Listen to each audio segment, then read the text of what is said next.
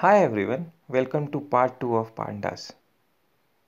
And agenda point for today will be series object in which we are going to learn how to update series object, head and tail functions, vector operations, then it will be followed by arithmetic on series objects. Then our final topic for the day will be filtering entries and it will be followed by some of the questions based on the topic. So without much delay, let's start. So to update, we can update individual element by specifying the index value. Here you can see the syntax series object then we can specify the index equals to new value just like any numpy array element or list or anything else. It's really simple. You can see the example obj here we I have modified the seventh element or specified index value 6 is equals to 10. Now Python also provide us facility to update multiple items in one go or in one statement. This is the beauty of a Python. Let's see how to do it. So first of all we have a series object then we have a slice index like start colon stop and step is equals to new data value. Here is the example. Obj obviously it will be a series object. Then 2 comma 5 is the slice part is equals to 10 so that means your index value 2 3 and 4 will have the same value 10 now we can also change the index value by specifying attribute is equals to new index array. Now you have to notice your index array should contain same element as series object. Okay let us see these things in our IDE so let's start. First of all I'm going to import a package called numpy as numpy import pandas as pd and I'm going to create an array so that np dot space is equals to let's say 1 comma 5 comma let's say uh, 5 element. Okay. Sr is equals to pd dot series. Remember s is capital here. So i have a series object. So you can see my list is created. Oh, sorry series is created. Now let us modify the content. So i can say sr of index value 2 is equals to let's say 89 and print this value. Print the series again sr let's see this.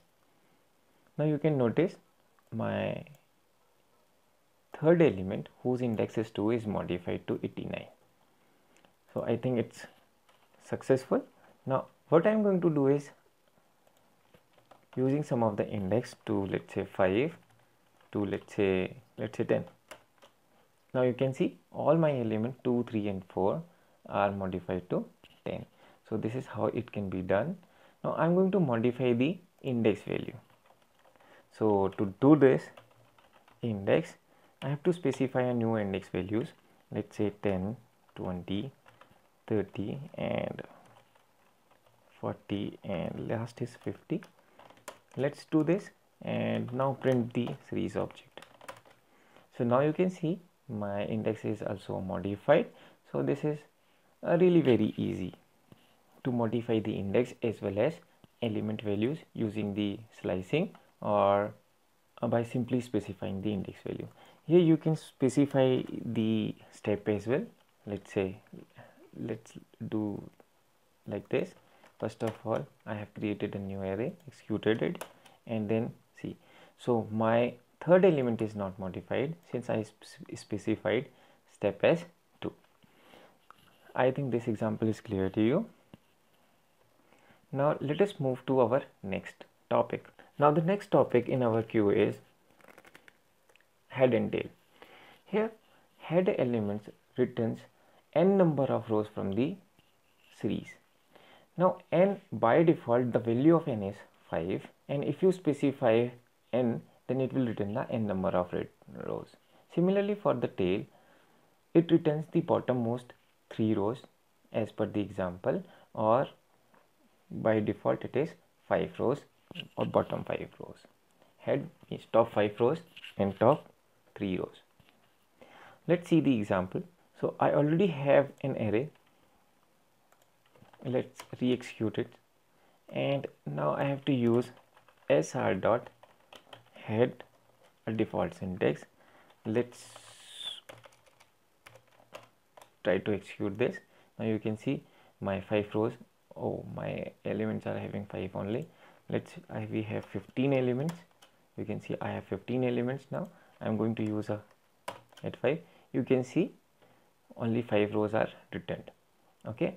2 rows. You can see only 2 rows are returned if I say 12 rows now you can see my 12 rows are returned similarly for tail method I can use tail method as well. Sr dot tail. Let's print this. So bottom five elements are displayed. If you specify the values let's say three or last three elements will be displayed. Or if you specify more than these so last 13 elements will be displayed. So this is how head and tail function works. I think this is also very easy. So let's move quickly move to our next topic which is vector operations.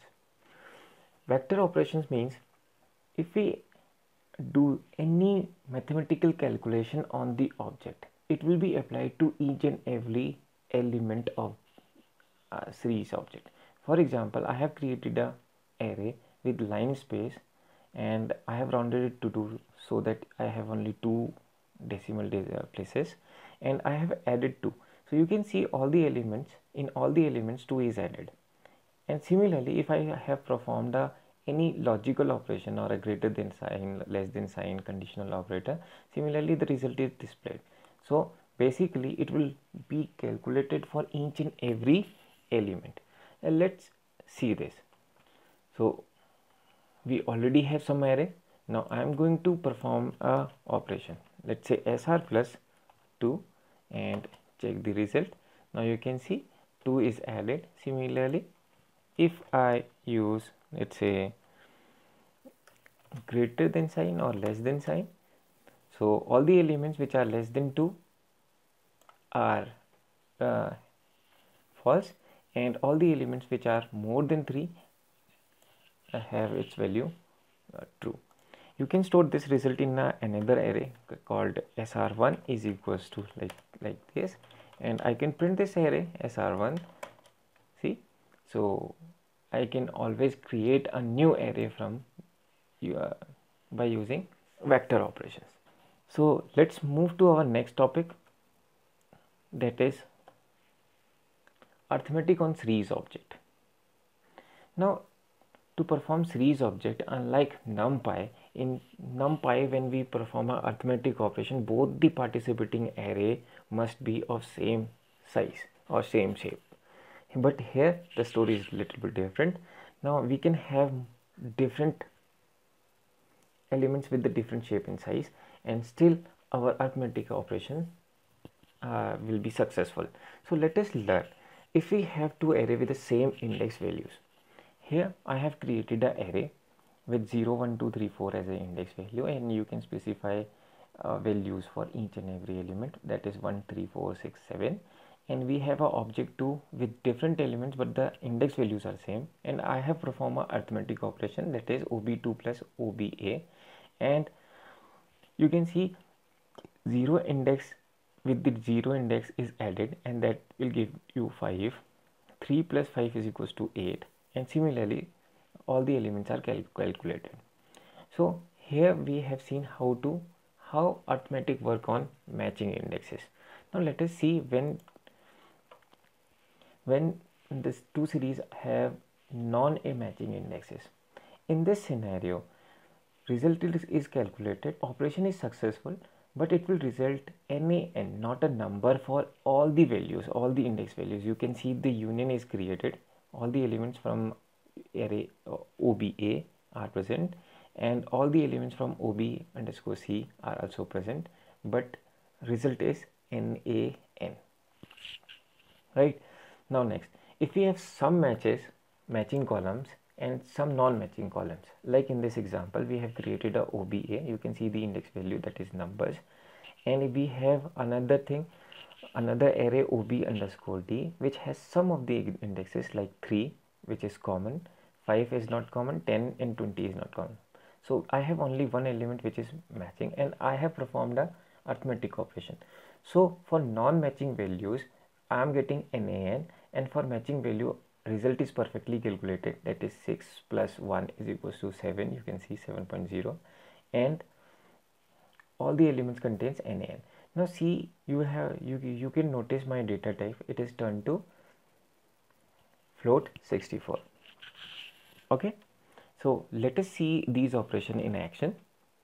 So for this time i will be having a let's say new array with some values. Let's say linspace 151 so i have five elements. You can see i have a five elements and I'm going to create another array with the same values.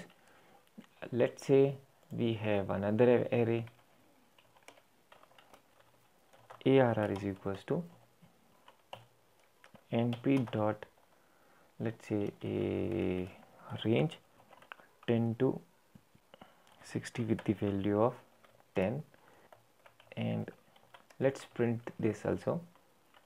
Sr2 is equals to pd dot series ARR1 let's say. So I have SR1 SR2 and let's add these. So now you can see index value 0 and index value 0 so if you calculate the total that will be 11 you can see 11 is calculated. 2 20 22 33 44 and 55 so for matching elements I have the result. Right? Now let us have non similar index. So I will be creating a list. Let's say lst1 is equals to list range. Let's say 1 to 4 1 to 5 so my element number of elements contains only my list contains only four elements. And lst2 is equals to let's say list a comma b comma let's say c comma let's say d. Okay so my series one let's say sr underscore a is equals to pd dot series. Let's we have a in data is equals to let's say lst 1 and data 2 is equals to or index value is equals to lst 2 okay and I have sr underscore b which is equals to pd dot series.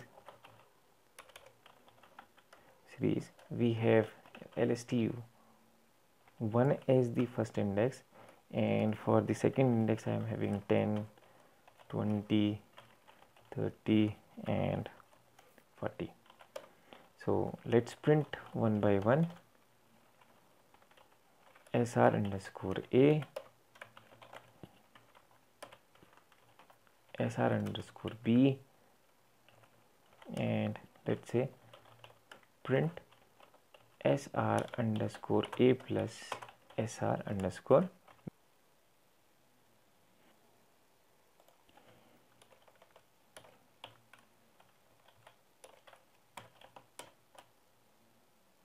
so let's see this. I have two arrays two series objects a b c and d 1 2 3 4 are the values. And I have another series object SRB which has 10 20 30 40 index. So none of the index are matched. And you are getting a union of all the elements. But values for all the all the elements are na not a number. So what if we have some elements as a common? Let's say since I know that 0 and 2 will be the common values and let us try to execute this piece of a code now. Now if you see we have 0 and 2 oh sorry uh, a and b i should be specifying. A as an index value and let's say c as an index value. Now see if we calculate this we have a matching index. That is the values are calculated. 1 plus 1 is equals to 2 and for C 5 3 plus, uh, 2 is equals to 5 and rest all the elements are NaN. So I think arithmetics in series is clear to you. Next let us move to next topic which is filtering. Now you can see filtering. In filtering we have a series object and a boolean expl uh, expression enclosed in a break brackets. Now you, you can see we have two objects OBA 13467 and I have printed the condition. So you know how um, uh, arithmetic works. So it will give, uh, give result for all the elements vector operations. And then I have specified this same expression in brackets. And you can see all the elements with the true result are returned. So you can see 2 sorry 4 4 if you calculate this it will result to true. So 4 is returned and 6 is returned while 7 3 and 1 are not returned in as in output. Uh, let us check this in our code. Sr is equals to pd dot series. Uh, let's have some values. Np dot a range. 1 to let's say 10 print sr and then let's print this sr filtered object that is sr modulus 2 equals to equals to 0 and now you can see only even values are printed. 2468 and uh, even where odd values are not printed. If I specify to 1 let's say now you can see only the odd values are printed even are left out. So this will clear your doubt and let us move to our question section the first question is consider following series object namely as s. You can see my series object is this. And these are the six part of the question. You can understand and write the answer. Okay? So let's move to the question number two. That is find out error in following code fragment. So these are the your five parts of the question. You have to identify error in these. And then you have to write short notes on arithmetics on series object filtering on series objects head and tail method. So this concludes our topic. Hope you liked it and thank you very much